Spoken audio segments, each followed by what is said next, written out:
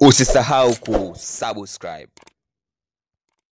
Bana, wote tunafahamu kwamba mziki wa bongo bila kurushiana maneno, bila kurushiana vijembe vya hapa na pale, mziki hauchangamki au vipi? Game haichangamki au vipi? Noma sana. Karibu kwenye Amani Online Media, lakini na story hapa pia mkononi kwa ajili yako. Kama wewe ni mwanafamilia wa Amani Media, fanya kusubscribe sasa hivi ili uwe wa kwanza kupata kile ambacho sisi tunakipandisha kwenye uh, page yetu ya YouTube au vipi? Noma kabisa. Sasa kutokea uh, Konde Music Worldwide, nipo na story hapa ya CEO mwenyewe bwana Harmonize, lakini unafahamu uh, wiki chache iliyopita Kontawa aliachia ngoma yake ambayo amefanya na Neo Mitego, ngoma inaitwa Champion. Sasa remix ya hiyo ngoma amefanya uh, na CEO wa Konde Music au vipi bwana Harmonize, yani ngoma ya Kontawa kamshirikisha Harmonize au vipi? Na kwenye hiyo ngoma verse ya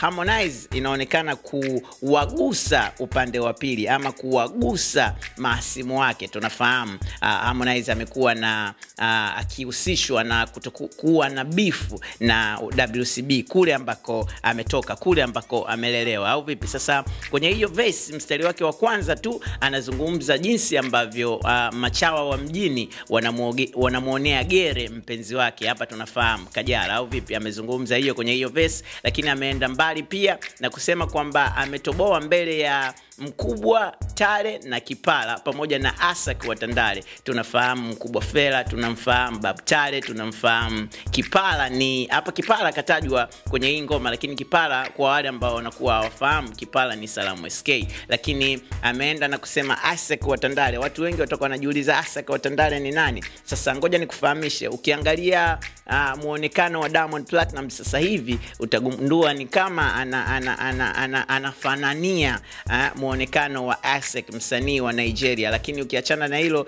ngoma ya Mboso uh, utaniua au vipi, ambayo amemshirikisha Diamond Platinum imepigwa copyright, imeshushwa kwenye mtandao wa YouTube uh, kwa kile kinachosemekana kwamba Diamond amekopi au amepita na staili ya Asak. So ukioanisha hayo matukio mawili unaweza ukafahamu kwamba hapa uh, Harmonize anamzungumzia Diamond Platnumz au vipi, lakini mbele pia kwenye hii verse uh, ya champion ambayo amepewa shavu na Kontawa uh, amesema kwamba kuachana na Chidi na Kili kutoka Konde Gang ni kwamba haikuwa riski, lakini alikuwa anatamani maybe kuendelea kufanya nao kazi, lakini ametufahamisha pia Angela. Unajua juzi tu Harmonize ame, ali, aliweka ujumbe kwenye ukurasa wake wa, wa Instagram na kusema kwamba anaachana pia na, na, na Angela, lakini pia sasa humu kwenye hii verse ametufahamisha kwamba kumbe Angela kuna watu wamemshika masikio, yani kuna watu wamemrubuni, wamemdanganya danganya na vitu vingine kama vile, ndo maana ameachana ame,